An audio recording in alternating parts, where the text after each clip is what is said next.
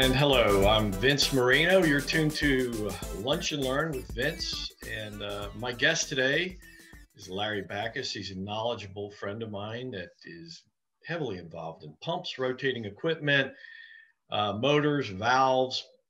He's a, an experienced writer, inventor, solved a lot of problems over the years. The way we came to today's broadcast was I was talking to Larry about um, a client, AJ, who came to me with the in the coupling industry. He's heavily involved in flexible couplings, and I asked Larry. I said, "What what are flexible couplings, and why do we why do we need them, and uh, how do they work?" And anyway, this is the uh, the show that we're going to pass on to you. We're hoping that this kind of tribal knowledge not only helps you, but some of your friends in the rotating industry and without further ado, I want to introduce Larry. Larry, welcome to Lunch and Learn. Hello, how are you doing there, Vince? Great, great. Thank you. Tell us a little about flexible couplings and what are they? Why are they in existence today? What's the benefit and and why do people need them? I they're just so they're there's something I know we need, but I didn't know a whole lot about them. And then when you shared this story with me, the light went on. So take over. Well, uh, pumps are connected. Uh, pumps are, are pretty much sold without a driver, without a power source. Uh, depending upon what we need, then we may want to couple the pump with an internal combustion engine, maybe for a remote application. Uh, if it's uh, in a, an industrial plant, maybe uh, an electric motor. Um, if you needed very high speed, you could connect the pump to a steam turbine and um, and then we could uh, also connect uh, uh, through a, a, coupling or a gearbox to uh, change the speed. So pumps are, are generally sold without a coupling to a power source. Then the power source is part of the purchasing, and there are uh, three types of couplings that you can purchase or use with the the equipment. Uh, a simple coupling, a flexible coupling, and a spacer coupling. I am uh, not a fan or against uh, any of those. Uh, I would just use the appropriate coupling. And um, uh, I will say that uh, simple couplings are used mostly with small equipment.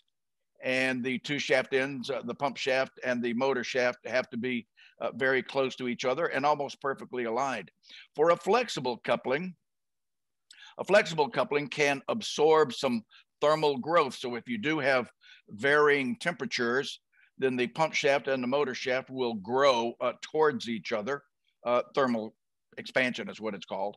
And uh, so a flexible coupling can absorb some thermal growth, uh, can absorb a small degree of misalignment and startup shock.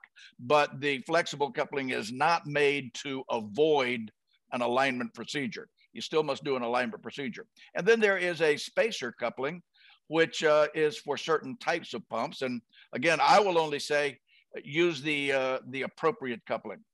Uh, that's my opinion.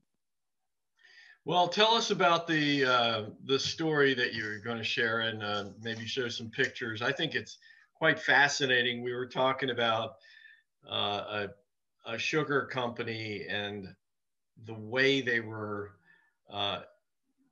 positioning the pump with the motor in close proximity. And when you do that, you have some limiting and sometimes costly decision making. Uh, what you think, you know, you think you're making a good move, and, and in reality, you're actually costing a company hundreds, if not thousands of dollars and a lot of man hours in, in maintain, maintaining it. So, to take take me through a thumbnail sketch of that that story that we talked about. Well, uh, yes, uh, it, it, does happen that in the chemical process industry, uh, I do find uh, there's a tendency to use the wrong coupling, and uh, we will show you what that is. Uh, it's a part of my part of my seminar, and it, we're actually it's just a little edited excerpt from my standard seminar, and we'll talk about it. And we'll even see some pictures of a of a chemical process plant. Happens to be a sugar mill and we'll see some of the things that go on that really don't have to go on, don't don't have to happen. And uh, it's uh, it's about flexible couplings. And before I uh, start, let me say that a, a, a, Corvette is a very good car. The uh, Corvette, Chevrolet Corvette sports car is a very good car, but it may not be the best car as a family vehicle because well where will you put the kids it's a two-seater and and and if you go to play golf uh, a lot of times you want to play golf with a friend. Uh, so if your friend is seated in the passenger seat where do you put the golf clubs? So sometimes uh, you want to have an appropriate car for the application. You want a, a trunk or a boot if you're going to take the family to the grocery store so that you can come home with the groceries. Now, in the chemical process industry, uh, we find that uh, a, a certain type of a pump is preferred in the chemical process industry. It's called a back pull out pump. And uh, I find uh, in many cases that the wrong type of coupling is being used with back pull out pumps. And this is a part of my uh, seminar. Uh, it's about spacer couplings. So uh, we're going to go to screen share. Is that okay with you, Vince? Did you have another question? Absolutely. Share your PowerPoint right. screen now. All right. Now that is a spacer before, coupling. Before before you go any further, Larry, what's your website? LarryBachus.com. Uh, well, the website is BachusInc.com. Bachus and my Inc. Bachus Inc. Uh, that's Bachus Incorporated. BachusInc.com. And then my uh, email address is Larry at BachusInc.com. All right, we'll be sure to include all, all that. Right. All right. Well, here we go with a, that's a that's a flexible spacer coupling, and a few words about spacer couplings. Uh, end suction back pull out pumps, and that is the pump that is prominent in the chemical process industry. So if you're making pharmaceuticals like COVID vaccine, or you're making sulfuric acid, or you're refining uh, uh, sugarcane juice into sugar crystals, then the back pull out pump is the uh, most popular pump used in the chemical process industry. This particular type of a pump should be mated to a uh, spacer coupling. Now, the difference between a spacer coupling and a simple or flexible coupling is this right here that we see in this picture. The at the top is the spacer, at the bottom is a simple or even a, uh, a, a flexible coupling. And let's look at the spacer coupling. Uh, so uh, on the right is the motor, on the left is the pump. You've got your suction and your discharge pipe, and there's the coupling joining the pump to the uh, to the electric motor. So let's consider uh, one reason for using a back pull-out pump is that you can change the diameter of the impeller, uh, you can change the design of the impeller. Uh, without having to do major work on the pump. If you if the mechanical seal fails or if the bearings fail, you can work on the pump without having to totally disassemble your equipment or take the whole pump and motor into the shop. So uh, let's look at uh, doing some work. Let's consider an impeller change with a spacer coupling. So the first thing that you would do after shutting off the equipment and closing your valves, of course, all right, then you would remove the spacer coupling. That's the first part to remove. And then the uh, second part that you would remove would be the, uh, and notice that you do to get six to 10 inches of free space uh, and then a larger spacer coupling would provide up to uh, 16, even 18 inches of free space. And then next, you would remove the support foot if the pump has a support foot. So that now that is gone. And now you would slide back the power end of the pump right there. So it's we've just now done it. Notice that the the power end of the pump, and you can see the impeller, and you can see where the mechanical seal is, and you can see where the coupling was the whole pump clears the uh, volute casing and uh, does not interfere with the motor. So what this means, the big advantage, you don't have to move the pipe. You don't have to misalign the volute casing with the base. You don't have to misalign the electric motor with the pump uh, uh, uh shaft, electric motor shaft with a pump shaft. And then you can either change the impeller or take the uh, pump, the power into the pump into the shop. So you can change the impeller, remove the power in without interrupting the motor or the pipe alignment. And there you go, it's just been removed. Now, the uh, back pull-out process pump was developed to facilitate the ever-changing needs of production and also to reduce downtime and maintenance, which is key in the uh, chemical process industry. The spacer coupling makes this possible. Now, if you purchase a back pull-out pump without the spacer coupling, then you have destroyed the whole purpose of selecting this pump and you've wasted your money. Let's see the same operation would do the same thing, but with a simple or a flexible coupling. So here's your pump and the motor and the pipe. Consider an impeller change uh, or pump maintenance with a simple coupling. Okay. So uh, turn off the equipment, uh, close the valves, and go through your lockout tagout procedure. Well, the first thing and, I see is less space, less clearance between the two shafts. That's and you're exactly right. That's the first thing that you see right there. Uh-huh. So remove the uh, simple coupling, and then you would remove the support foot that will come out. And um, as you can see here, about a half of an inch to maybe two inches of separation, and that's for standard process pumps. So notice the limited free space between the two shaft ends. Now, as you attempt to employ the back pull-out feature, and that was the whole purpose of purchasing this pump, we're going to employ the back pull-out feature. So let's uh, attempt to employ the back pull-out feature. You can see the interference here. Let's back up the uh, power into the pump a little bit. All right, now we're very close to the electric motor shaft and then back it up another inch right there and bang you have uh, bumped into the electric motor shaft and we have not cleared the volute housing of the pump. So you can't get this pump out of service unless you well do something else. So one option might be to remove the electric motor all right? Now we've removed the electric motor. Uh, now you're going to have to go through a complete pump shaft motor shaft alignment now, I'm not saying that the back pull-out uh, pump and the spacer coupling avoids the alignment. You should do an alignment check, but at least you don't have to go from starting at point A with going through an alignment procedure. Okay. So you do need to do an alignment check. To remove the motor, now we're going to have to involve the electrician just to perform pump maintenance or to alter the pump for a different uh, production demand. Maybe change the diameter of the impeller, change the uh, design of the impeller, or change a mechanical seal or change the bearings.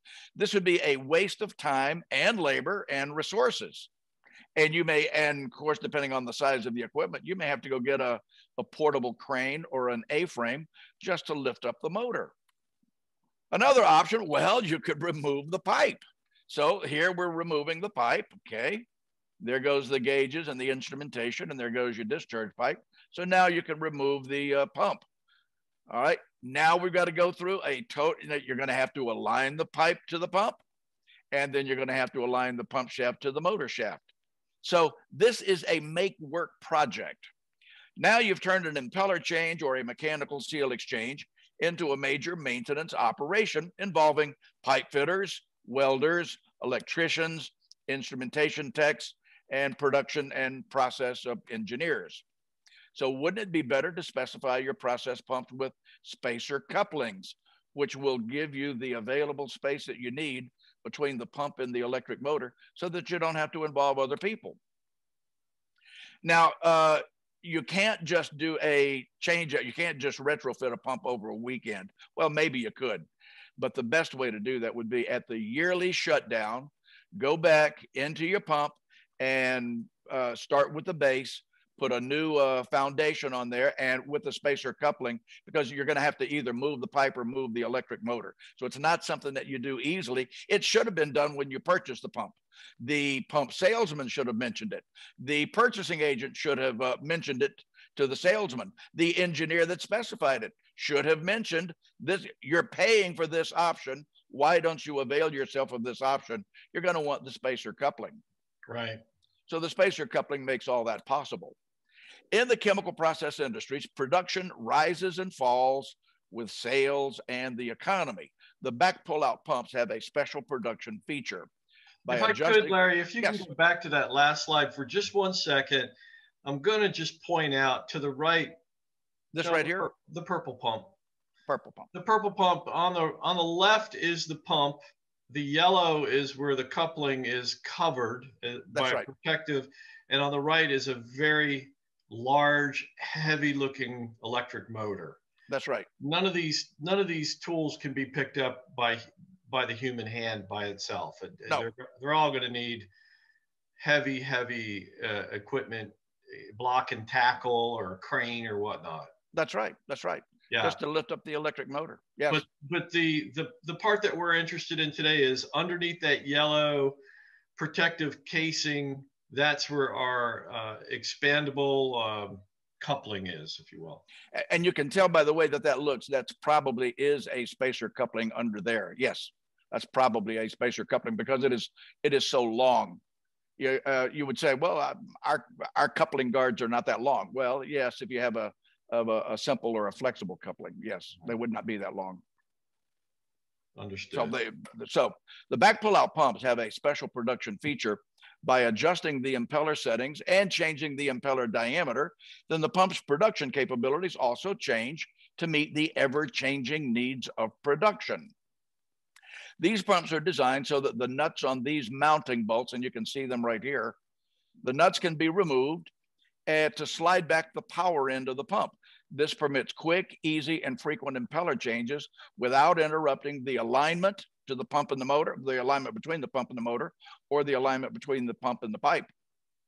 And there is the power end, and you can see this is the power end for that uh, pump right there. These little holes, these little eye bolts right here, right? Uh, these eye holes are uh, are slide right into these uh, studs right here, and that is the power end for this pump. So because the whole power end slides back, there must be between six and 10 inches of free space between the pump shaft end and the motor shaft end. Now, here's another type of a pump uh, that uh, also has the same uh, feature. The entire bearing assembly on that split case pump unbolts from the main casing. Changing and maintaining the bearings on that pump is fast and easy with this particular design feature, the spacer coupling I'm about to show you in the next couple of frames. So use the spacer coupling to avoid moving the motor or the pump. Now, here we go right here. And this is an actual pump and uh, it's uh, the focus is good, but the coupling looks like it's a little bit blurred. That's because it is rotating at 3,600 RPM. And you can see the free space between the pump and the motor right there. That is the spacer coupling. And I'll just go ahead and show you. It is a Sulzer pump and it has a John Crane cartridge mechanical seal, and the bearings and the bearing uh, uh, bearing seal is right here. So we're going to go through uh, the process of uh, uh, uh, changing or maintaining this pump. So the first thing we're going to do is we're to remove all the background information so that what we really see is the pump and the motor and the coupling right here. All right, now this would be your process.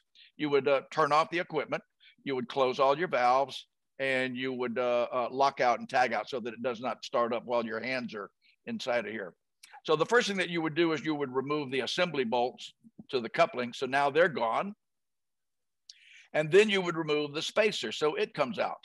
Okay. And then the alignment springs. Okay. Now we've got our space between our two shafts. So the next thing that you would do is remove the coupling ends. So they would come off like so and that one comes out like so. Okay, then they can be. Now, there's the uh, two shaft ends right there. Next thing, you would remove the bearing seal. So it's going to come off like so. You know, Larry, yes. from, a, from an average Joe walking on the street, I'm just, like I said, I'm just a regular guy, but clearly one shaft is thicker than the other. Yes. And that obviously must be one of the other advantages of having a coupling is that you can unite one shaft size to another. Oh yes, that's uh, that's another advantage of the coupling. Yes, uh huh. And and uh, and and and depending upon the way that it's, you can you can have a an inch pump shaft at a metric motor shaft, and so they can uh, go back and forth from inches to metrics, and go with uh, different sizes as long as the center line is aligned properly. The the, the center lines are right. uh, form what's called um, uh, well, the word uh, slips in my mind right here. Uh, but the, but the, collinear, collinear is the word. The this the center of each shaft are aligned. The center of each shaft are, are a, almost as though there is no coupling there. Yes. Right. All right. Then you would remove the uh, the uh, the nuts right here on the mounting bolts right here. They've been removed. And now we're going to remove the, uh, well, we, we did just remove the bearing seal. And now we remove the, uh, the uh, nuts here on the, uh, uh, uh, the bearing and the seal assembly. So finally remove the mechanical seal and the bearing cartridge assembly. It comes off like so. And, and there, see, there's the advantage of your spacer right there. Uh, we don't have to we don't have to move the motor and we don't have to move the pump and then it comes out so, and there, and there's the pump exposed right there. So that is the whole purpose of the back pull out pump. So with a spacer coupling, you don't have to move the motor, okay? Or you don't, and you don't have to move the pipe and you don't have to interrupt the uh, shaft alignment between the motor and the pump. So why would you take what could be a three hour project and turn it into a two day project, okay? involving electricians, pipe fitters, instrumentation techs, hazmat, that's hazardous materials guys, and other tools and equipment. Uh, engineers don't study this in school. To facilitate production and take advantage of this feature, the back pull-out process pump should link to the motor through what's called a spacer coupling. Sadly, purchasing agents and materials and production engineers are rarely trained in this, and it results in unnecessary work and wasted time. Now, and people have said to me, but Larry, I've never really understood anything about a spacer coupling. These are two companies. Uh, I'm not promoting these companies. I don't work for these companies. I don't sell their product. But I'm just saying that these are two separate companies that make spacer couplings. And um, uh, many companies make them, but you you have to specify it, and they may not call it a spacer coupling. Um, so Larry, these, yes, go ahead, um, Maybe um, maybe I could even show you what prompted me to. I'll just show you on my screen real quick. What caused me to, uh, what prompted me to ask you a little bit more about couplings was this company. And AJ talked to me and he said, Hey, I'm interested in being an advertising partner. And I went to you and said, Larry, give me the quick quick download on what couplings are. And that's what this is another example of that, right? That's all yes, That, that's another example. That's right. Right. So it just just to uh, just to let you know that uh, that was what prompted the conversation. But please continue on with uh, with your story and tell us why. Uh, and I, lo- I love the uh, the part that you said that a lot of engineers don't get this kind of training in school. Uh, but give us a story of where engineers and purchasing agents didn't quite get the message and show us how that that was a costly decision. Engineers take a course in school called fluid mechanics. And fluid, it's it's a it's a it's a, a one semester course, so that means it lasts uh, 16, 18 weeks, whatever. And it's uh, called a three hour course, which means you go to school three hours a week uh, for one hour, three days a week, like 10 to 11 o'clock on Monday, Wednesday, and Friday, or maybe uh, 10 to 11:30 on Tuesdays and Thursdays. So that makes it a three-hour uh, course. And the uh, professor normally dedicates one or two classroom periods to pumps, which okay. which means let me just say it a different way. He dedicates one or two hours to pumps, because the course is about the properties uh, of uh, fluids, which are liquids and gases, right. and pumps make liquids move through pipes. So pumps uh, pumps are used in the chemical process industry, but the professor in school is never going to get this deep into his pumps. He he just says, look, there are you know two types of pumps, PD pumps and centrifugal pumps, and the professor will talk a little bit about the history of pumps, and he may flash a pump curve at the class, and he may uh, show the class a simple uh, pipe system and uh, they might have a quiz on that. And, and then the professor moves on to talk about why uh, a vortex will form in a tank when you go to empty a tank or empty a vessel, a, a vor- air vortex tornado will form as the tank level uh, uh, uh goes down. And uh, all of these are the properties and behavior of liquids and gases. And just for a very brief moment, the professor will talk about pumps. And right. the professor is not going to talk about back pull out pumps for the chemical process industry. Uh, it's and a, it's uh, a costly mistake. It sounds like. I mean, what you shared with me. So yeah, please continue with your PowerPoint. I want to see. Well, yeah, and, and I'll say uh, purchasing agents don't talk about it because the back pull out pump or, or the or the uh, flexible uh, spacer coupling, sorry, the spacer coupling costs more, and purchasing agents have to make big decisions with limited information, and uh, they can always latch onto the purchase price as their justification for making a purchase and it so it seems to cost more and if the engineer doesn't specify it then the purchasing agent's not going to buy it Right. And sometimes the salesman that sells the pump, he said, Oh, if I quote the spacer coupling, it's going to jack up my quote and, and I'm going to lose the bid for that pump. Uh, so all of these are reasons that the wrong uh, type of a coupling is uh, mounted with a pump. Uh, let me go back to the. Go, go ahead. Yeah, no, I'm just saying. Go, please go ahead. But it, it, it really is always it, it really is always about um, the dollar. instead of the logic, it's just the dollar. I mean, that's right. Know, there are numerous instances where uh, if you just study it a little bit, maybe you spend a few extra dollars on the front end, and it'll save you a ton on the on the back end. But anyway, please continue. I love this story, right. so I hope All right. I well, hope it good. helps people. It sure has taught me a lot. So, uh, here's the test. Here's the test, and I took this picture with my camera because I was doing the work on it. So here we have with my pointer, you can see the suction pipe. And here is the volute, and you can see the mounting studs right here. Okay. And here's the pump down here. And here's the back plate of the pump right there. Okay. Uh, here's the pump down here. And this, notice how the electric motor has been moved over to the side. So the question here is how do you know if you're using the wrong coupling? How do you know? Well, the answer is, is if you have to move the motor to adjust or maintain your process pumps, then you have the wrong coupling. If you have to go through that procedure, and after you move that motor, you're going to have to go through an alignment procedure again. And I'm not saying the uh, I'm not saying the the the, uh, the the spacer coupling avoids the alignment procedure. You do need to do an alignment check, but you don't have to start from step A, step one, and go through the whole alignment procedure. You do need to verify that the alignment is still there and adjust it if it is not.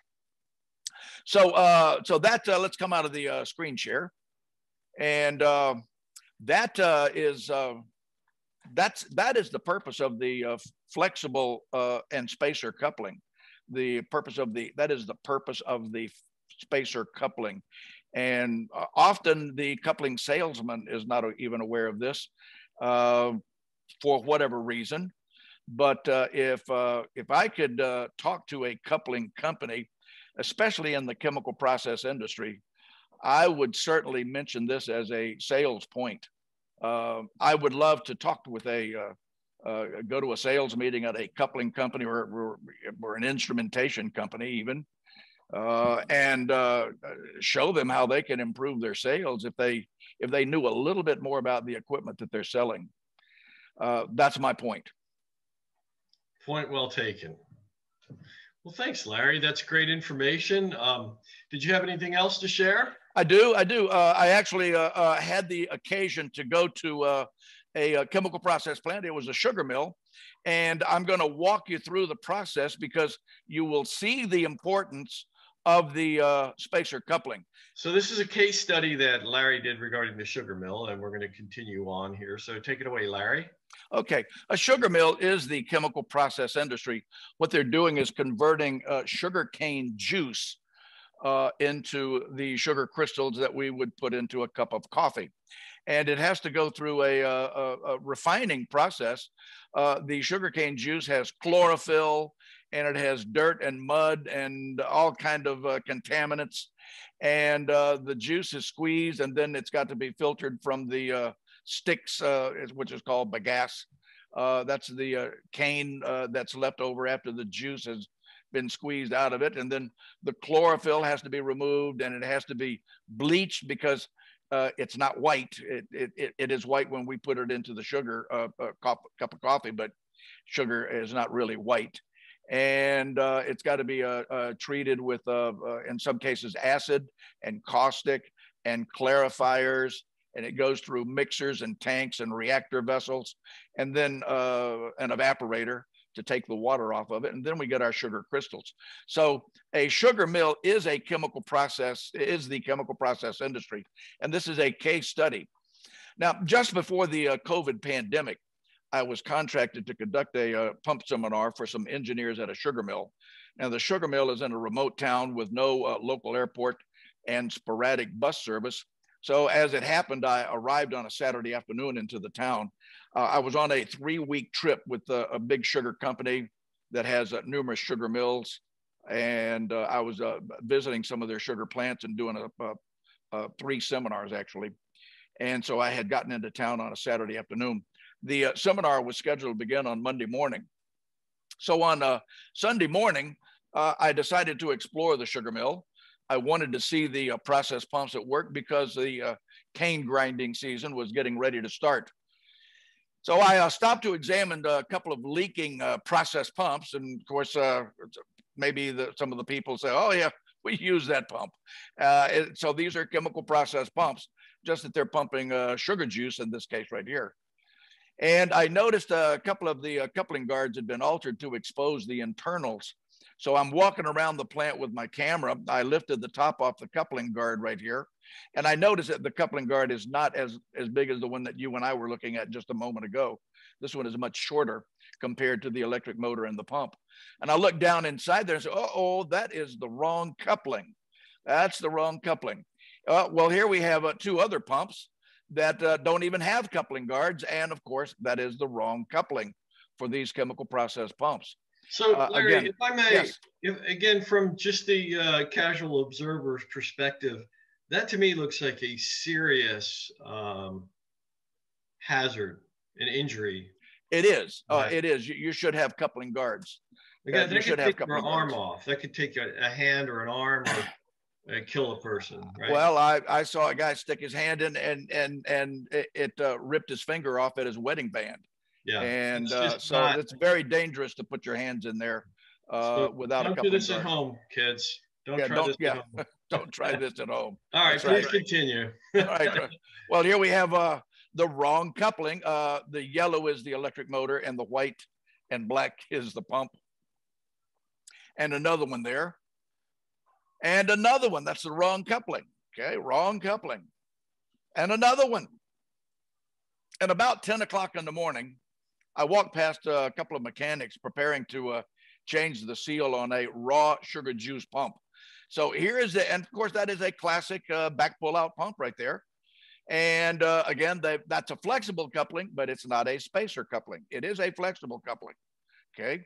And uh, these two mechanics, uh, well, we can see the mechanics jeans right there. Uh, they're preparing to do the work on this pump. And I should say that uh, I'm in the northern hemisphere. It's 10 o'clock in the morning. The sun is to the south because we're going to see as the day progresses how the sun crosses the sky as the sun goes from the east and sets into the west. So at about 10:30 in the morning, uh, the sun was uh, uh, behind me. Notice the uh, electrical conduit right here to the electric motor, and the shadow goes off in that direction. So the sun is over my right shoulder as this picture is being taken right here. And there's the flexible coupling. And okay, now this is an interesting picture right here. The uh, right here at the bottom, that is my shadow that I'm wearing a hard hat and my elbows are out. I'm taking a picture with my camera. And this is my escort uh, into the refinery to go into the process area. That's his shadow. And again, it's about uh, 10, 10, 10, 10, 10 30 in the morning. So notice the way that the shadows are going. And again, and here's the same pump, same jeans, same coupling, okay? And um, and of course, here's the uh, chain hoist that they're going to have to lift the uh, electric motor up with, and the pump. Now, these two mechanics, they they need to be working on the pump, but they're starting at the electric motor. So that that called my attention. Uh, well, there he is. He's removing the uh, foot support right there, the bolt uh, uh, on the electric motor. And now they've located the uh, chain hoist uh, above the electric motor so that they're going to lift the electric motor up off the foundation and move it so that they can get to the pump. And uh, the maintenance on that pump is so frequent that an eye bolt had been welded into the ceiling to hang the chain hoist. Uh, that's how that's how problematic these pumps were. And there's the uh, there's the hook into the electric motor, and they're about to lift the electric motor right now. And here's the electric motor now is, is lifted off the foundation. You can see my uh, pointer right here. So the electric motor is about an inch into the air right now. And they're swinging the electric motor around. And now it's now, 1.30 in the afternoon. It's, uh, it's 1.30 in the afternoon. So you notice that the shadows have all changed. The shadows have all changed here. Yeah. And there's your flexible coupling at the back end of the pump. And you can see the, uh, how the electric motor has been moved over to the side so that they can get to the pump. And here's your another view of the same thing. Uh, now notice how these shadows are moving across the sky. Uh, now the chain hoist is suspended above the pump. So here's your chain hoist now hooked into the uh, eye bolt on the elect uh, on the uh, on the pump right there. and they're loosening the uh, the uh, mounting bolts on the pump right here. And if we get the chance, this would be the moment to go to to either to splice in, if we get a little NASCAR video going here. but I will jump over it at the moment. We can come back to it later. Well, but essentially, you. we've all seen the two to three seconds it takes to unload or, or, remove the bolts and to swap out a tire at a pit stop. We all know that visual. There we go. So we're looking at the, what are we looking at? The pump. All right. Uh, here's the pump and the mounting bolts have been removed. You can see my pointer right here. The mounting bolts have been removed and they're getting ready to uh, back. This is why it's called a back pull out pump. And uh, of course, they, they had to move the motor to get the free space so they, they could actually employ the feature. You know, there were uh, some cars a few years ago. Uh, there was a, a, car model that to change the oil filter, you had to lift the motor out of the car to change the oil filter. Hmm. That's terrible. That's terrible. There was a there was another car that uh, to change the spark plugs, you had to uh, move the motor mounts, uh, move the motor over to the side just to change the spark plugs.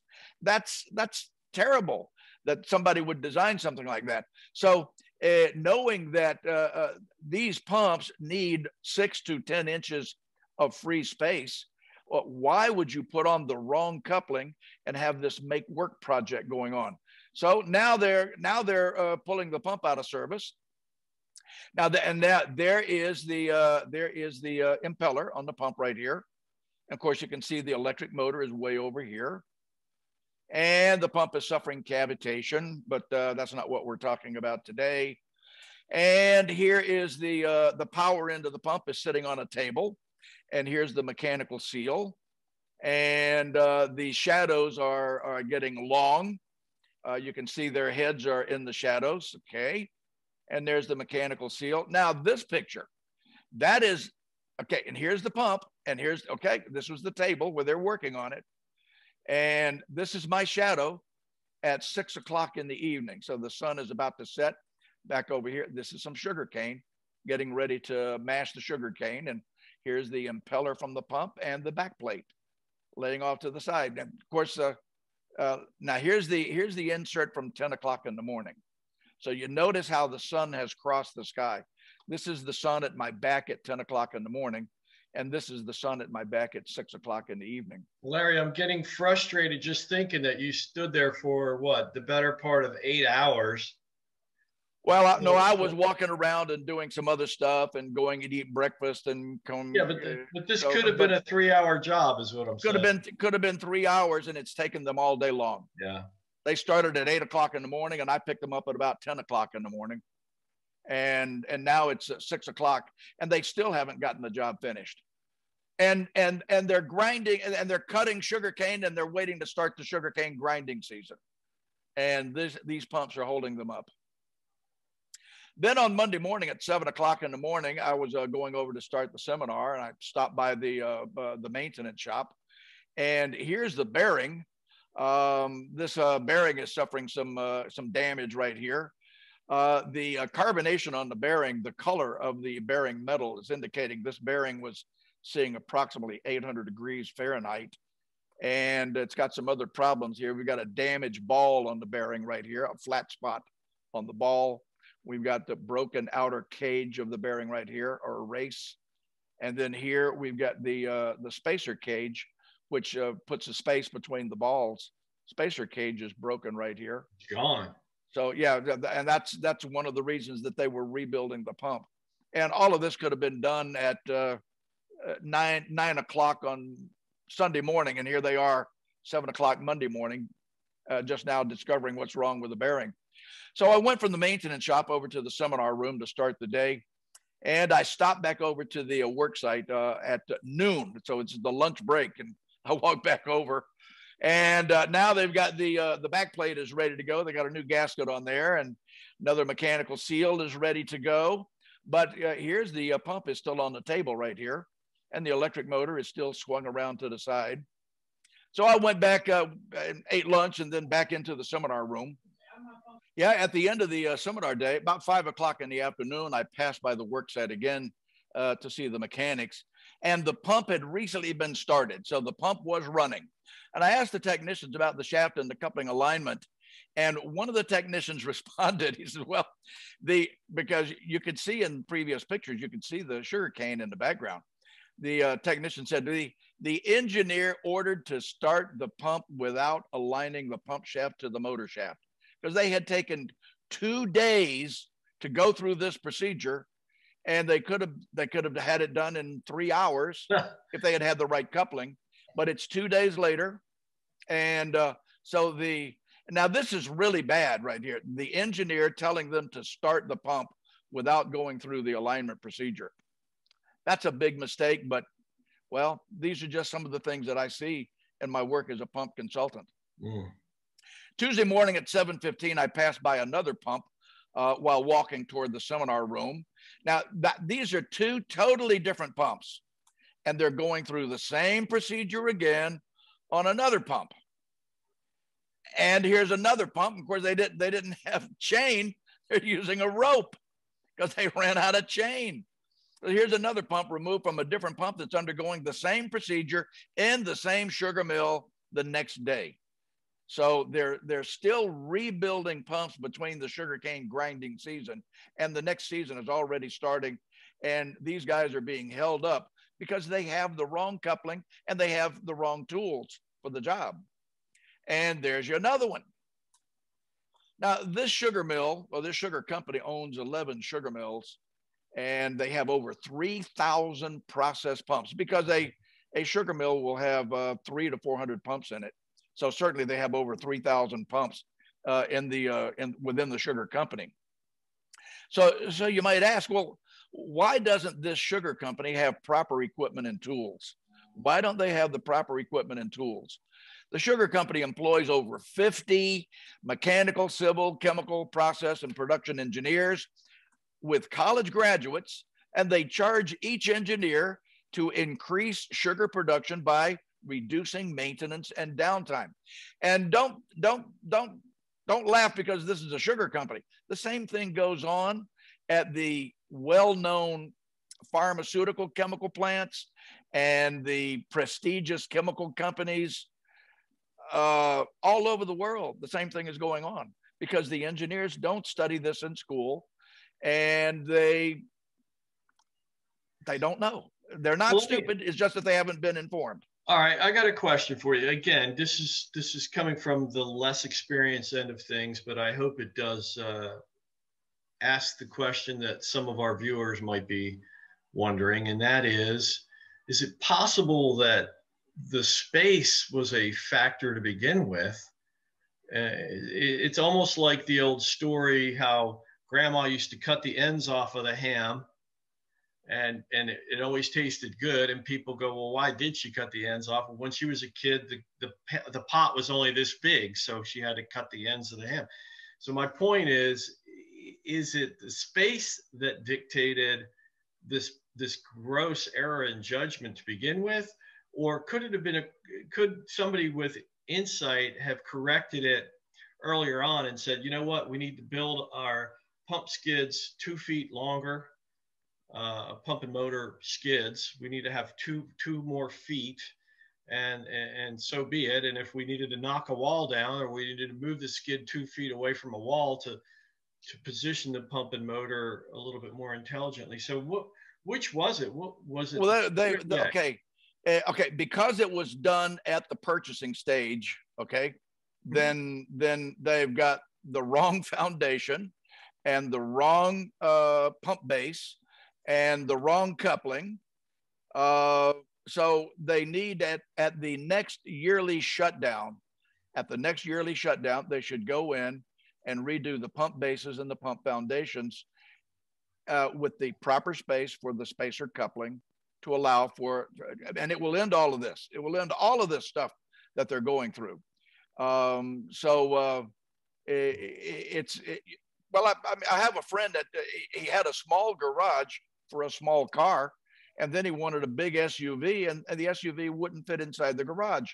So he's leaving a $80,000 SUV out in the out in the rain, and uh, and and with uh, I don't know five or six thousand dollars worth of uh, work on the garage, he could get the he could get the SUV into the garage, but he he can't get the SUV into the garage because the, the garage was made for a smaller car. Right. So then it needs then he needs to he needs to redo his garage so he can get his uh, car into the garage. That's really all that needs to go on here. And if and it should be done at a yearly shutdown at the end of the cane grinding season before the next cane grinding season in a sugar mill or right. uh, at the yearly shutdown in a chemical plant or an oil refinery. So if we do some quick math, Larry, there are 3,000 pumps. They're spending at least 12 hours per pump to make changes. That's a fair statement. Two six hour days, two six hour time periods at least. Or or eight hours yes. All right i'm eight hour days yeah. All right so let's, maybe maybe they only work six hours yes. Yeah, right so i'm, I'm trying to give them the benefit of the doubt. They're spending 36000 hours to maintain 3000 pumps uh, and they're doing that what four times a year? Uh, they uh, they try to get the whole sugarcane season without doing maintenance on their pumps and save the maintenance until after the cane grinding season. But uh, say you don't have that option in an oil refinery. An oil refinery goes full blast yeah. 12, 12 months out of the year. And if you're making, maybe if you're making uh, uh, pesticides, uh, agricultural pesticides, there, there might be what they call a, a high season and a low season, which might correspond to the, to the growing season. So every industry is different. Um, what you know what we tend to think uh, even beer uh, in yeah. good times we drink beer and in uh, in the winter we drink beer and in the summer we drink more beer so uh, uh, they have uh, different industries have their so-called highs and lows yeah. um, then the process engineer at that industry needs to decide when can we do this or just have a, a, a what do you call it a sectional shutdown instead of a general shutdown and go through and, and do this on a scheduled basis in the sugar company in a sugar company though you could do it between your cane grinding seasons. Right. And so it, it, it's not necessary that it it has to be this way but uh, here's something else. You might ask this question here. How can so many intelligent university graduates ignore these basic concepts of process pump design? Because they didn't study it in school. And the professor I don't know who the professor is, but I know who my professors were, and they dedicated themselves to academia. They were not, they did not dedicate themselves to oil refinery maintenance or steel mill maintenance. They dedicated themselves to academia, and uh, they they themselves have some limited knowledge, and they only have one or two classroom periods to talk about pumps. They're not going to get into this they're not going to get into this. This is if you take a position with a company that makes a liquid product, beer or milk or gasoline or pesticide or soy sauce or whatever, vegetable oil. Okay, just go to your go to your grocery stores and look up and down the shelves, and you'll see all the different liquid products. I mean, you know, we, we a, a can of soup is made with pumps. Oh, sure. Okay, so Larry, uh, Larry, I, I, I hate to cut it short, but we got to wrap it up. It's um, been a pleasure to to hear this. Do you have any final comments before I mention that? If no, I think wanna... that that's I think that that's it. Let me uh, see if I did have. Uh, uh, well, no, I think. Oh, okay. No, that's not necessary to say all of this. I'll leave that to you if you want to put well, that no, on at what, the end. What I want to and that basically sure, that basically was the end of what I had to say. Right, but this is what I wanted to make sure people are aware of: is you're my friend, you're successful. Like I said, you're an inventor and a writer. Uh, this is the kind of guy you want to know if you have questions about pretty much any rotating equipment uh, challenges. But Larry is referred to by the, the people that know and love him as the pump guy. And uh, Larry, it's been a great pleasure. I hope we can do this again real soon with another topic. Uh, folks, if you like what you saw, please like and subscribe. Click on the thumbs up to, to let us know that you're enjoying this. We're going to continue to do these uh, periodically throughout the year. It's 2021. We're emerging from the COVID pandemic, and it's spring has sprung. It's almost April. And uh, hopefully, we'll see you again in April with another episode of Lunch and Learn with Vince and my guest, Larry Bachus. So, Larry, um, thank you. It's been a pleasure to be here and uh, look forward to seeing you guys again. Thank you. Bye. Bye, everybody.